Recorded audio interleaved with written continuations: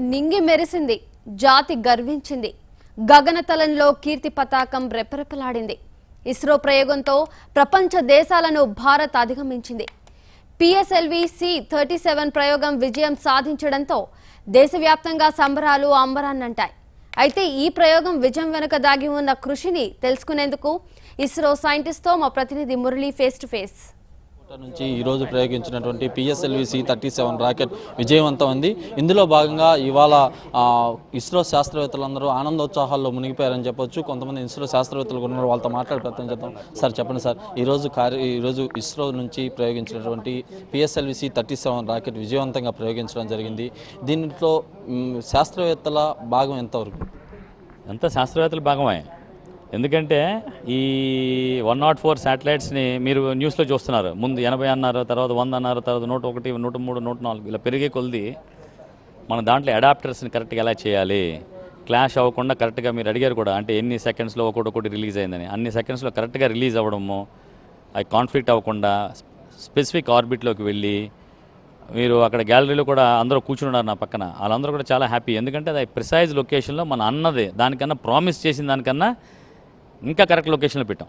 So దానివల్ల వాళ్ళకి fuel wastage లేకుండా ఎక్కువ టైం ఆ శాటిలైట్స్ పనిచేస్తాయి వాళ్ళకి. సో ఆ ముందుకు మనకు మోర్ బిజినెస్ వచ్చే ఆస్కారం ఉంటుంది. నెక్స్ట్ ఇన్ని శాటిలైట్స్ ఒకేసారి అంటే డిఫ్ చాలా దేశాల నుంచి అంటే ఐదు దేశాలు నెక్స్ట్ యూఎస్ ఆరు నెక్స్ట్ మనవి సో ఇన్ని శాటిలైట్స్ వాళ్ళందరినీ కూడా ఒకేసారి పట్టుకొచ్చి ఇట్లా క్వాలిటీ చెక్ చేసి అవన్నీ పెట్టడం అన్నది చాలా విశేషమైన ఇది. సో ఒక అంటే చూడడానికి చాలా సింపుల్గా కనిపిస్తుంది వంద.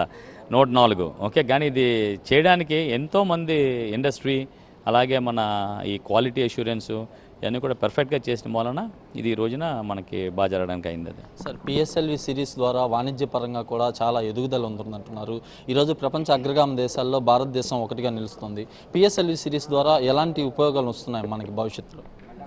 ఇప్పుడు పిఎస్ఎల్వి మనకి అన్ని టైప్ ఆఫ్ శాటిలైట్స్ లాంచ్ చేసింది. అంటే అది low earth orbiting satellites remote సెన్సింగ్కి అలాగే కమ్యూనికేషన్ శాటిలైట్స్ అలాగే నావిగేషన్ శాటిలైట్స్ కూడా లాంచ్ చేసింది పిఎస్ఎల్వి అలాగే స్పేస్ సైన్స్ మనం చంద్రయాన్ వన్ ఇవన్నీ కూడా పిఎస్ఎల్వి సో ఇది చాలా వెర్సటైల్ వెహికల్ అలాగే రెండోది ఏంటంటే దీనికి పి పిఎస్ ఫోర్ స్టేజ్ కూడా మన రీస్టార్ట్ కూడా చూపించాం last time two three times చేసింది. అంటే ఒకే ఆర్బిట్లో కాకుండా కాసేపు ఆపేసి ఇంజిన్ మళ్ళీ ఇంకొక లొకేషన్కి వెళ్ళి మనం ఇంజిన్ స్టార్ట్ చేసి మళ్ళీ ఇంకొక ఆర్బిట్లో ఇంక్లినేషన్ యాంగిల్.